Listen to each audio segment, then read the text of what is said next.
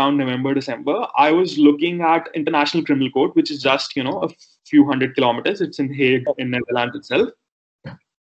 So I was thinking that I'll do, you know, an internship or a long clerkship kind of a thing, whatever, with the International Criminal Court. So I looked, I went to their website, uh, and they said we don't give any funding at all. Like either you should be sponsored by university, which no university really does. I don't think so or you should arrange your own funding.